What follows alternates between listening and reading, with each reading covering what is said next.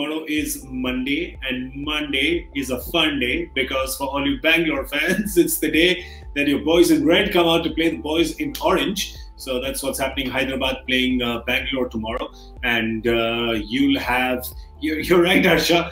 You probably got Captain Virat wondering about tomorrow's game, but also saying, "Hey, is my test team okay? I'm a bowler's fine. Shami is good. Yes, I've seen Shami is very good." But on the other side, I've seen Ashwin, who's wearing a, a, a sling and he's standing on his left arm, albeit, and Ishant Sharma with his back. But I mean, obviously, he's going to be excited about tomorrow's game to start off this campaign because if there's one guy who's really, really got a point to prove when it comes to this tournament, it's Virat. And if there's one team that starts even slower than the Mumbai Indians, most times it's RCB. Because but the uh, difference is that Mumbai picks up. Yeah.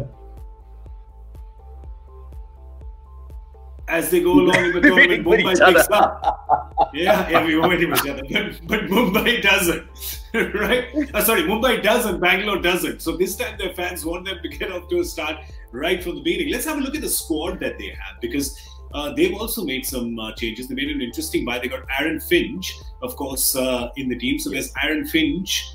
Um, they've of course got the young Devdutt Padikkal, who everyone is looking forward to, and they got Adam Zampa in to the squad as well, who might not get a game considering that Chahal is a sure starter. Yes, John. Yeah, oh no, what I'm saying is the interesting part about this is after watching these games, I'll be very interested in saying, will they play? They could really play both Umesh and Navdeep and take their chances. If they say that the pitch is doing a bit and they take their chances, then play could the other batsmen. So could they play Dale Steyn then? Interesting. I mean, I, I think Dale Steyn is a, a it's it's it's a it's what I call a positive move on their part. But uh, you know, always uh, RCB is worried about their batting, and they've always felt they've not got enough bowlers. Finally, these bowlers will have a pitch which is not at uh, 2,500 feet altitude and not a small ground. So their bowlers will finally have a tournament where they can bowl at something and have fielders at the back.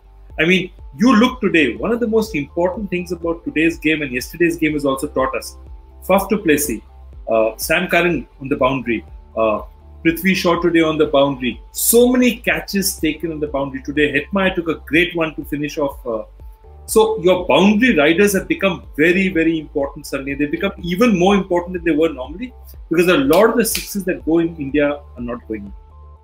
This is just not happening. Yeah, well, will they have that uh, gun boundary rider AB de Villiers or will he be standing behind the wickets? What's your instinctive call, Good, good question. Very good question the tomorrow's game is on the same game, same track as this one. It's being played on the same pitch. Mm. It's taken 40 overs, so I don't know how it'll play tomorrow. But just look at the way they'll be very tempted to play Steyn and Morris both, and play uh, Umesh Yadav and Navdeep Saini. So you play your three fast, adding up to eight or nine, uh, and and that that's good enough for me. And I'll play Finch, AB, Morris, and Steyn as as as my four ball way to go because I've been talking up Isuru Udana, but the ball has to grip in the surface for, for, for him to bowl. And they don't have Kane Richardson. They've replaced him with Adam Zampa. Playing Steyn tomorrow and playing all, all four fast bowlers. And they'll play Chahal. And because Washington Sundar can slip in as a batsman around 6 7, I think I think that's the way but uh, of course, the big question there is if AB does indeed decide to become wicketkeeper, then that gives them a choice to go with Padikkal as the opener for uh, with Aaron Finch. But if he doesn't, that means Parthiv has to play, and Parthiv plays as opener, and then young Padikkal doesn't get uh, a chance. So big call tomorrow. Let's see, and and I guess that's a call that completely depends on AB de Villiers because he had taken a conscious choice in his career a few years ago that he was done uh, with wicket keeping, but the guy is just such an asset. But I don't know if so much has been riding on it before for this team, but a lot is for tomorrow. Let's have a look at uh, Hyderabad as well. Let's have a look at their squad. There, of course, you've got uh, uh, well a World Cup finalist captain and Kane Williamson, who's probably not going to get a game. Having Warner and Bairstow, who are going to open, and birthday boy for today, uh, Rashid Khan, who's going to play tomorrow. But then, uh, who do they play? Who's their fourth then? I'm going left field. Perhaps? I'm going left field, Joy. I'm going left field and saying Hmm. Yeah, Billy I have a feeling also big, yeah, over this guy, one. Yeah. Over Nabi. And I think they'll prefer Stanlake over Nabi. Yeah, absolutely. Stanlake over Nabi.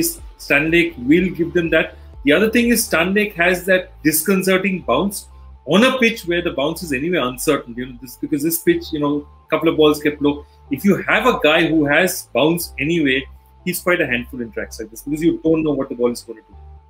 Yeah, and also you the want to see that uh, you know. Yeah. Sorry, Harsha. Yeah, yeah. Other thing they can do is this: see what Stoinis did today, and say, okay, Billy Stanlake is a great option, big, tall guy, four overs, but doesn't give me too much else. Can I go Mitch Marsh and say, look, i have got a batsman who'll play on those tracks, who'll do a Stoinis he'll come back and give me those those overs. Do I play Mitch Marsh instead of Mohammad Nabi? So that way, I've got a top order batsman who can also give me seam up And, and uh, Marsh is in good hmm. form. He's just scored some runs there. So that might be the option that they play a tall, hit the deck bowler who can also bat in the top five or six.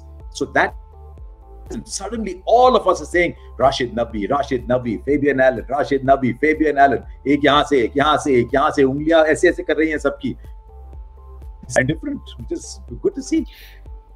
Well, the thing is that obviously they've had uh, they've got good uh, pitch curators there as well, and you're guessing that in the first few games that are played, uh, they might be truer, but with the kind of weather, with the kind of wear and tear, it's just a matter of time before it turns. And by that I mean it turns and then it turns. Uh, and then you just have to wait and watch when that happens. So then probably you'll see front loading. So the first one, two, perhaps three games that teams play, they may want to play their quicker bowlers, hit the deck bowlers, the ones who can move it around a bit. And then the spin comes into play and then more and more spinners come into play. Uh, perhaps that's what happens. Yeah, you'll see. Uh, maybe, maybe that's what happens. Yes. We're still to see a game in Sharjah. I really doubt, very honestly, Harsha, We've seen enough cricket in Sharjah.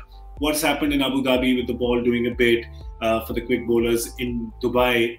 Doubt that's going to happen in Sharjah. now, first thing that happened in Sharjah is the boundary catchers who small ground. That's really watching the ball yeah. sail over. I, I, don't even think they need anybody in the stands to get the ball back. Just put people in the parking lot. That's it. It's just the parking lot. It's just small ground.